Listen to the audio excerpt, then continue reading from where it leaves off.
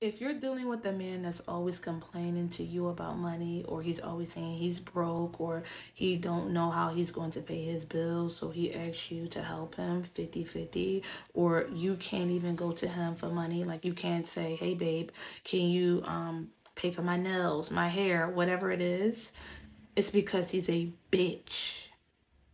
He's a brokey bitch. Okay? That's what he is real men would never allow that to happen because it destroys their ego. But not a brokey, not a brokey bitch.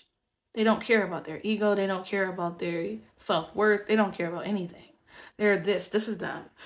Help me, help me, please help me, help me, help me, help me, help. That's them. A bitch. You're not going to respect him at all. I don't care how much you love this man. Wake up. Okay? He's a bitch.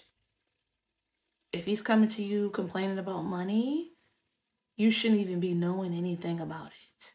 Real men are not going to tell you about what's going on if they are struggling because it destroys their ego. They will do whatever they need to do to fix this issue. But a brokey or a brokey bitch would never. Okay?